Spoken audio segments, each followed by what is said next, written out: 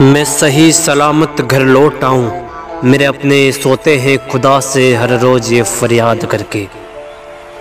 मेरी भी आँखें नम हो जाती है कभी कभी उनसे बात करके। लेकिन जिस दिन इस वतन के लिए कुछ कर गुजरने का वक्त आया, मेरे हाथ पैर नहीं कांपेंगे, उन्हें याद करके।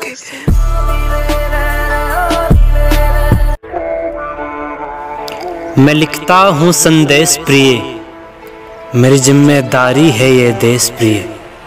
मैं लिखता हूँ संदेश प्रिय, मेरी ज़िम्मेदारी है ये देश प्रिय।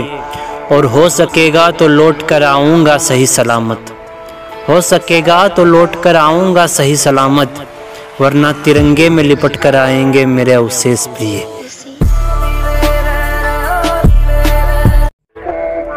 मैं इस देश का फौजी हूँ, ये देश मेरी शान है। ये आसमान को छूता हुआ तिरंगा मेरा स्वाभिमान है।